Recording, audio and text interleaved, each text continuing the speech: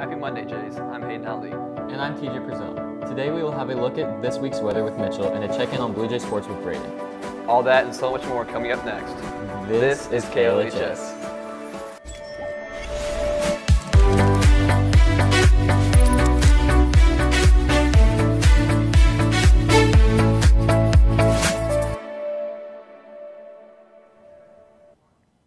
Today is Motivational Monday, so here are some quotes to get you through your day. Stay hungry, stay foolish, from the wise words of Steve Jobs. There are no secrets to success. It is the result of preparation, hard work, and learning from failure. Even a brick wants to be something. Yeah, I know. I'm, I'm pretty motivated to get through the rest of the day and to tackle what all the day holds for us. But anyways, in school announcements, the freshmen and symphonic orchestras are having their fall concerts tonight at 7 at the Liberty Community Center. The concert and chamber orchestra are performing tomorrow night as well. Now let's throw it over to Josie, who is standing by with the orchestra teacher, Ms. Davis. Hi, I'm Josie Wilkerson, and I'm standing here with Mrs. Davis about the upcoming orchestra concert.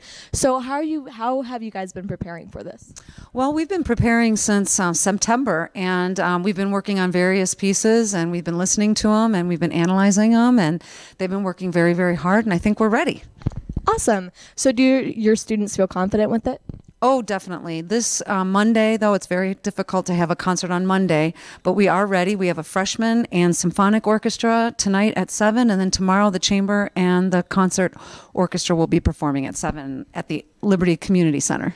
Nice. Is there like a general theme for this concert since Halloween is coming up? Well, it is generally thought of as the monster concert. So students are going to be dressing up, and there'll be con- uh, there'll be uh, a costume contest. So we'll have prizes for the best um, dressed.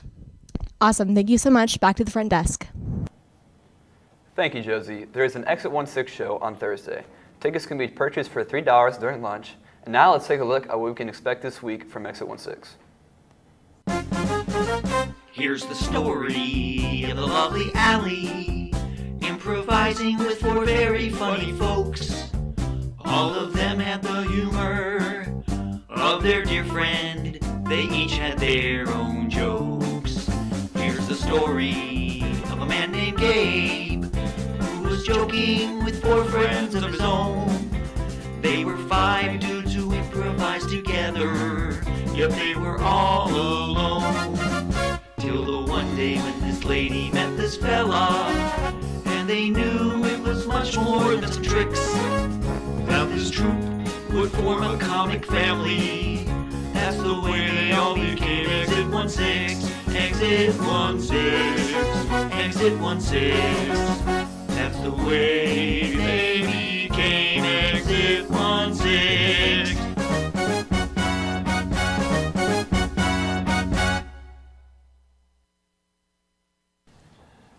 Make sure you guys come out and support Exit 16 on Thursday. Tickets for Beauty and the Beast are on sale at showtixforyou.com and they are selling quickly, so get yours soon. Mitchell, it was a little cold walking into school this morning. Might have to wear a jacket to school for the rest of the week. Well, Hayden, uh, you may consider doing so as the weather cools down this week. The weather was pretty cold coming into school today, around the low 50s, but for the rest of the day we have a high of 66 and a low of 55. Things will be getting a bit warmer tomorrow with it being in the low 50s walking into school, but warming up to the mid 70s by tomorrow afternoon with mostly cloudy skies.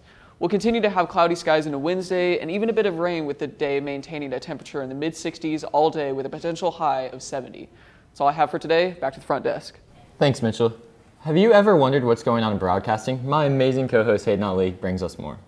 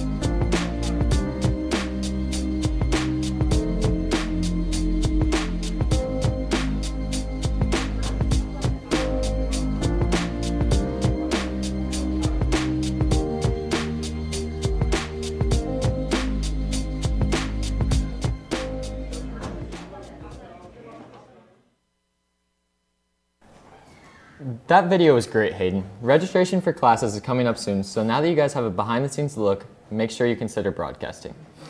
Now let's head over to Braden, who is at sports, who is at the sports desk with an update on our Blue Jay athletics. Braden.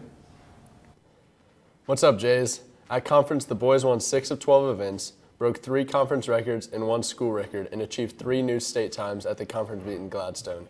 Event winners include Cameron Murphy in the 200 free and 500 free, Noah Witzke in the 50 free and 100 fly, Tristan Price in diving in the 400 free relay of Murphy, Sam Code, Tate Harvey, and Witzke. Both of the Murphys' times were new conference records, and Witzke's time of the 100 fly was a conference record. The 400 relay was also a school record. Tate Harvey qualified for state in the 200 free and 100 back, and Tony Lonsdale qualified for state in the 500 free. Overall, the team placed third at the meet. During this weekend in the MLB, the Cubs defeated the Dodgers and took the National League thanks to some lively bats and dominated pitching by Kyle Hendricks. The Cubs are headed to their first World Series since 1945. Let's see how the series played out. Left side. Out. The Cubs have won the pennant. The 2-2. A swing and a pop-up. First base side foul ground playable. Perez, Santana, Santana makes the catch. Ball game. The Indians have won the American League pennant. The 2016 MLB postseason keeps rolling along as we now have our two World Series teams. The Cubs were able to power their way into the next round as they were able to beat the Dodgers in just six games.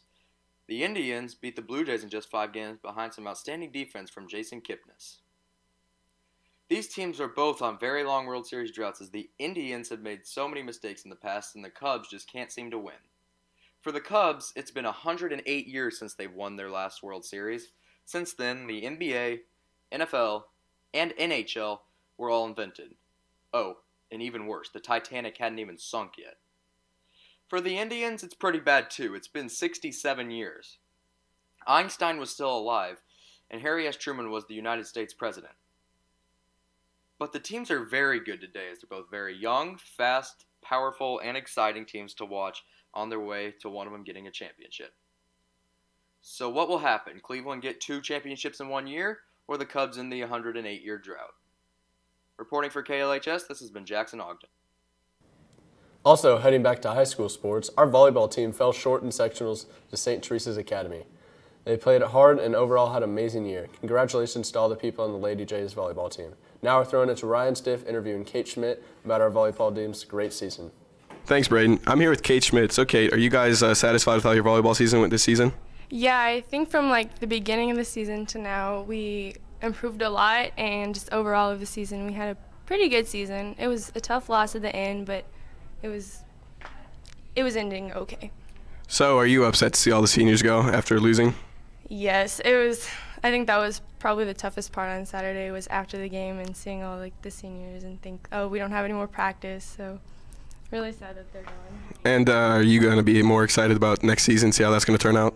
Yeah, hopefully we had kind of a young team this year, so hopefully in the past or in the future years we will have grow and be strong, and probably in a year or two we'll be really strong, and be good.